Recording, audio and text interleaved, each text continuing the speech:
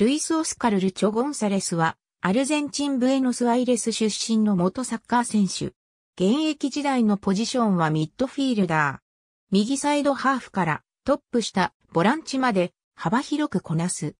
14歳で CA ウラカンに入団し、1999年にトップチームデビューを果たした。2002年には CA リーベルプレートに移籍、2003年と2004年にはプリメーラディビシオンの後期優勝を経験。2005から06シーズンからはプリメーラリーガの FC ポルトに所属。この頃にはアルゼンチン代表にも定着。クラブでは3センターの右インサイドハーフを担い、30試合に先発出場し10ゴールを決めチームの優勝に貢献した。2006から07シーズンは2年目で前年と引き続き30試合に先発出場し9ゴール。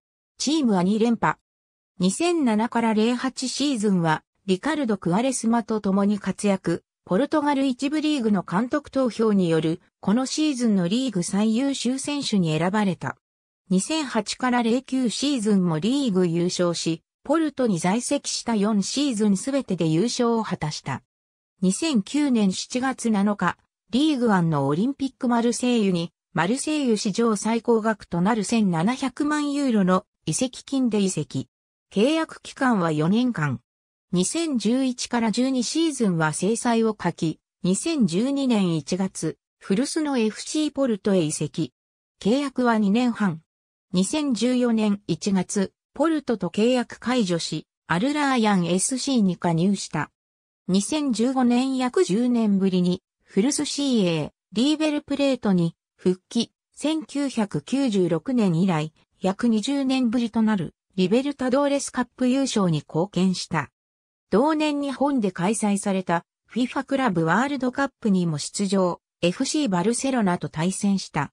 2016年9月、アトレチコパラナ遠征移籍。2021年5月27日、現役引退を表明した。アルゼンチン代表として参加したアテネオリンピックでは当時のリーベルプレートの同僚であるハビエル・マスチェラーノやライバルであるボカジュニアーズに当時所属のカルロス・テベスらと共に金メダルを獲得した。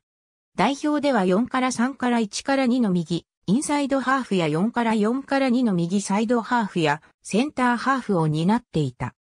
2006年のドイツで行われた FIFA ワールドカップ代表にも選出され、グループステージでは2試合に途中出場。準々決勝の対ドイツ戦では先発フル出場を果たすものの勝利をつかむことはできなかった。